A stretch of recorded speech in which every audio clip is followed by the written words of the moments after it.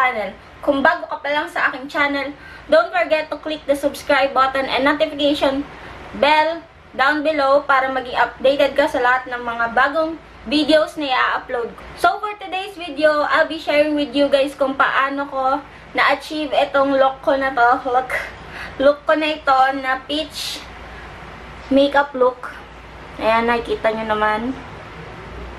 So, ayan. Ang gamit ko lang ng mga products, mga ginamit kong products ngayon is mga drugstore makeup products.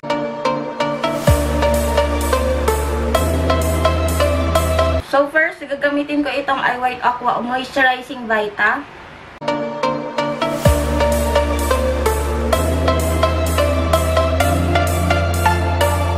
Then, after natin mag-moisturize, maglalagay tayo ng primer. Ang gagamitin ko ngayon is yung Maybelline Baby Skin for Eraser. Ayan.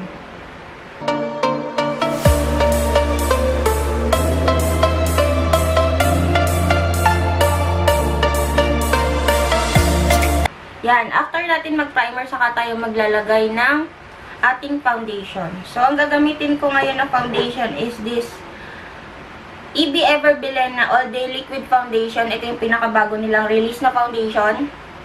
And sa pagkakaalam ko, sold out na to sa lahat ng mga department stores and Watsons. Pero luckily, meron ako nakita sa Watsons malapit dito sa amin. And ito, yung shade na to, Oriental. And dun sa store na, sa Watsons na pinagbilan ko nito, ang natitira na lang na shade is Oriental and Sunstone.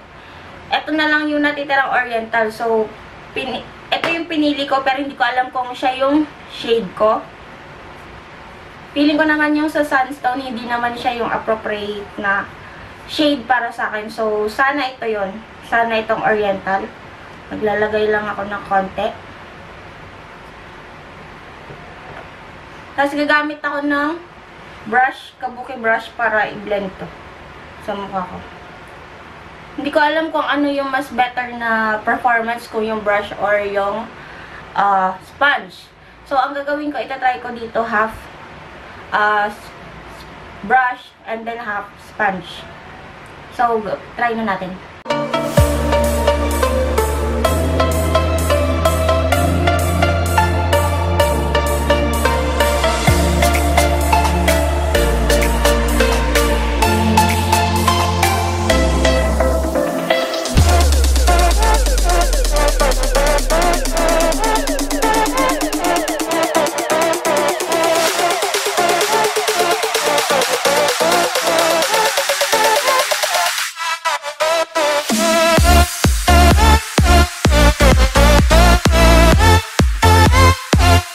So, ang sabi niya dito, this buildable formula helps even out skin tone and conceals blemishes while providing hydration without the greasy feel. So, I think totoo naman yung sinasabi na nila no, what, without greasy feel kasi wala talaga akong na-feel.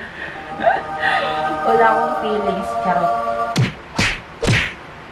Ganda niya. Parang ano lang siya, skin ko lang siya. Parang wala akong foundation na in-apply. Ayan, oh. Parang pwedeng pwede ito sa mga, sa no makeup makeup look. Ganda.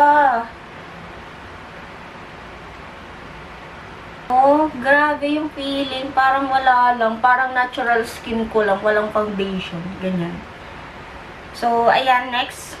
Dami ko na nang, ang dami ko na namang sinasabi. mag apply na ako ng pa, ah, concealer, foundation tuloy. Concealer, ang gagamitin ko is this Maybelline New York Fit Me Concealer in the shade of Sand. Lagi ko na lang ito ginagamit ah.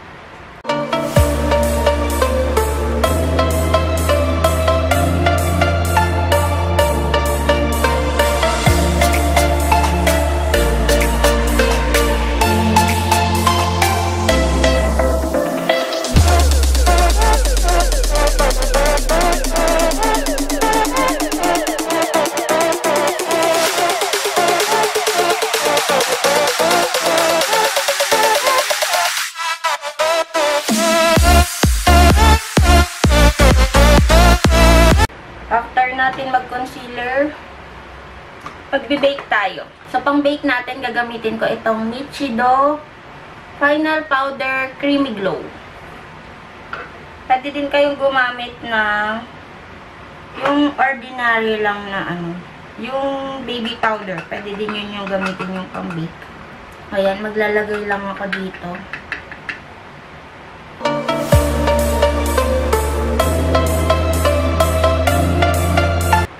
Pasensya na kayo guys kung mamaya-maya nagkakamot ako ng aking ilong. Actually, lagi yun nangyayari kapag itong uh, Michido yung ginagamit ko. Hindi ko alam kung anong meron sa formula nila. Pero parang, alam nyo yun, nangangati yung ilong ko sa, sa kanya. Sa kanya lang naman. Pero yung pag ginagamit ko yung baby powder, ayan, ito na nga. nga ba yung sinasabi ko? Okay? Mag-move on na tayo. Next, ako ay magkikilay na. So, meron... Ang gagamitin ko pang kilay is yung The Face Shop na Designing Eyebrow Pencil in Black Brown. Ay. Wait lang. Ayan pala.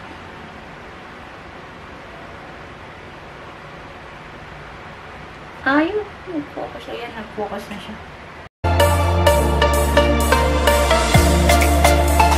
I-fill in ko lang yung mga panot siya na part ng kilay ko.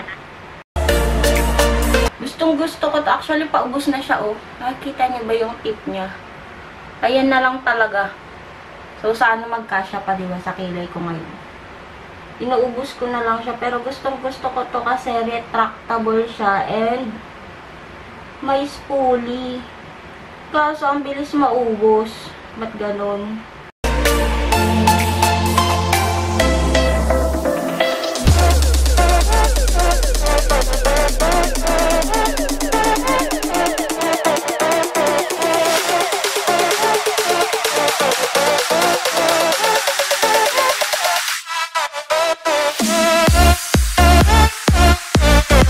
Then after yan, gamit ako ng concealer para maayos yung kilay ko. Kasi may, kapag may mga excess dyan, naglalagay talaga ako ng concealer.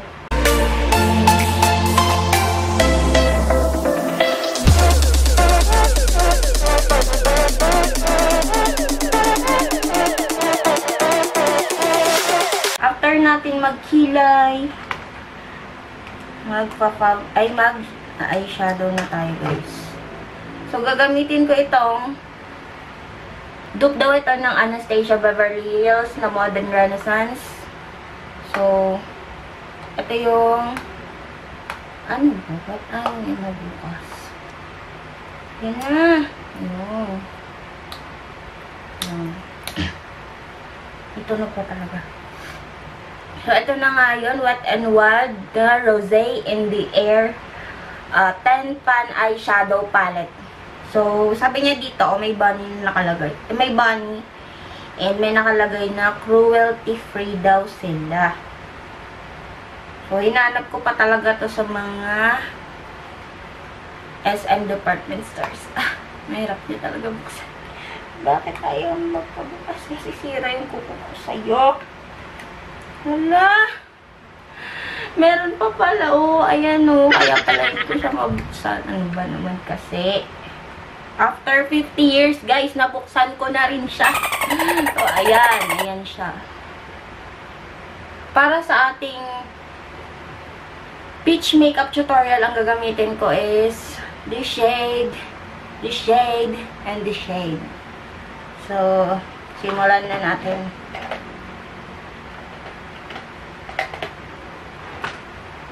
Maglalagay muna ako ng concealer sa eyelids ko.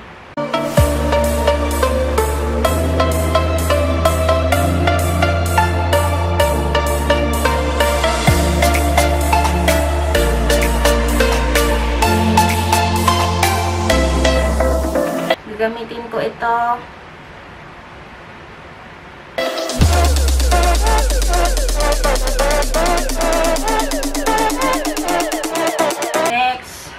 Is this this this. Same brush. Chop off the excess.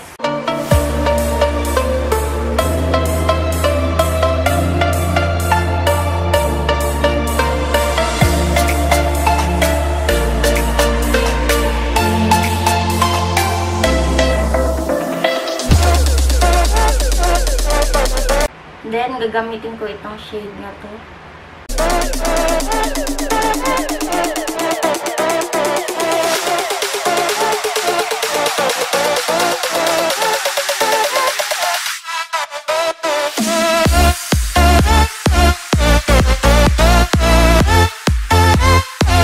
Gagamit tayo ng blending brush para mawala yung harsh lines ng ating eyeshadow. So, gagamitin ko tong e.l.f. Blending Eye Brush.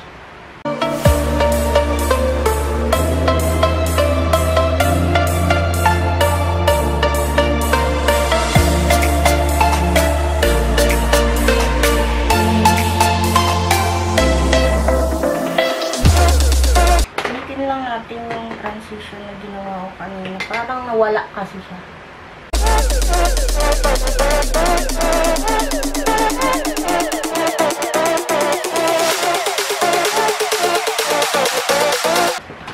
Maglalagay tayo ng eyeliner. So, ang gagamitin ko is this Careline Graphic Ink Liner.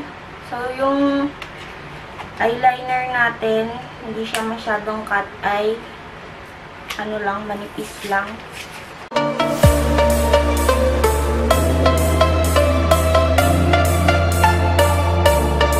So, next na gagawin natin is tanggalin na natin itong ating sinet na powder. Halos wala na nga siya. Tatanggalin.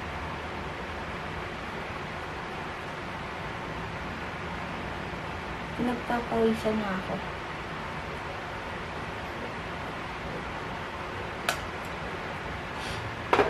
So, magba-blush on na tayo. Ang gagamitin kong blush on is itong Careline Blush On Oil Control in Peach Glow.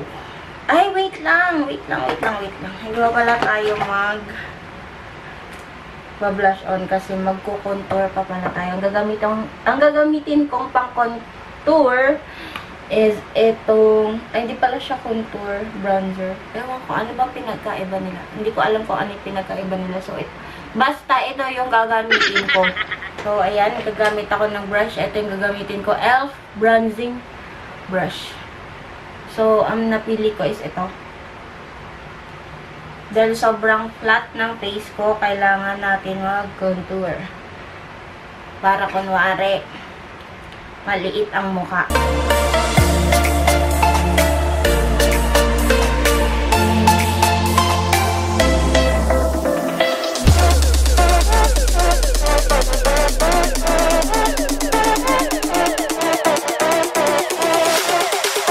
So, after ko mag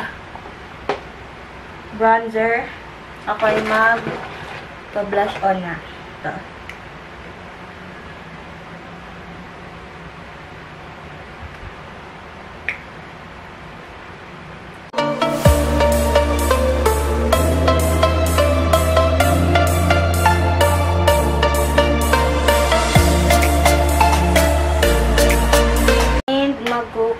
Pala ako ng aking nose.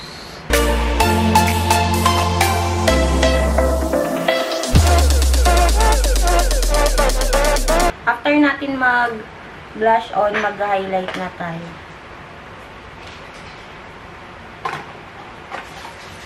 So, ang gagamitin kong highlighter is from this BTLA Contour Kit din.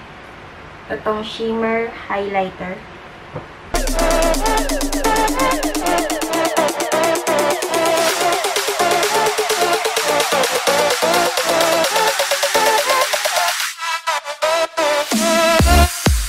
So, maglalagay lang ako ng aking falsies, guys. So, ayun guys, naglagay na rin ako ng false eyelashes ko. And, dun sa below ng false eyelashes ko, naglagay ako nitong Maybelline New York Line Tattoo Crayon Pen. Ayan. para lang ma-fill out yung mga blank space. Blank space. So, may nakalimutan pala akong gawin, guys. Ngayon ko lang siya naalala. So, wala pa palang eyeshadow itong babang babang part nito ng mata ko. So, lalagyan ko lang siya ng So, ang ilalagay ko sa kanya ay itong orange din na to.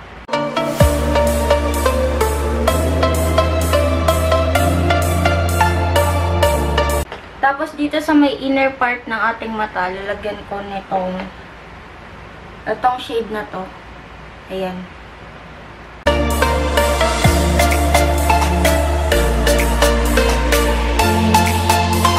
After natin yan, nagmo-moisturize muna ako ng aking labi. Magli-lipstick na tayo. Gagamitin ko itong Vaseline Lip Therapy in Lip, Rosy Lips.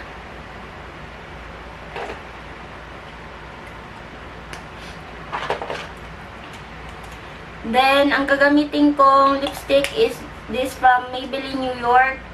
Uh, the Powder Matte by Color Sensational Toasted Brown. In the shade of Toasted Brown. Favorite ko to guys. And maglalagay na tayo ng ating makeup setting spray. Ang gamit ko ngayon is from Pro Studio Beauty Exclusive Long, wear long Wearing Matte Finish HD Setting Spray.